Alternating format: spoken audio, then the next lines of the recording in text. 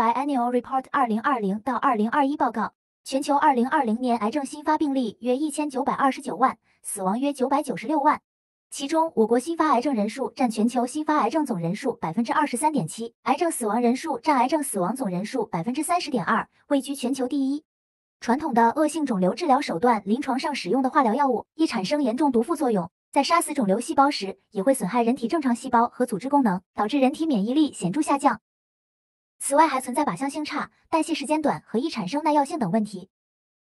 同时限制对正常细胞的损害。这里有两种靶向治疗，一种是在你的癌细胞内起作用的小分子药物，另一种类型包括称为单克隆抗体的药物，它作用于癌细胞外部。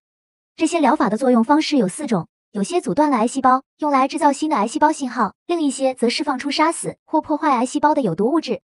有些疗法会刺激免疫系统中的细胞来摧毁癌细胞。另一些则阻断癌细胞周围心血管的生长，从而使细胞缺乏生长所需的营养，长期缓慢释放，提高药物浓度，降低药物毒副作用和耐药性。同时发展靶向药物传输载体，使药物集中作用于肿瘤细胞，提高药物在肿瘤处的分布。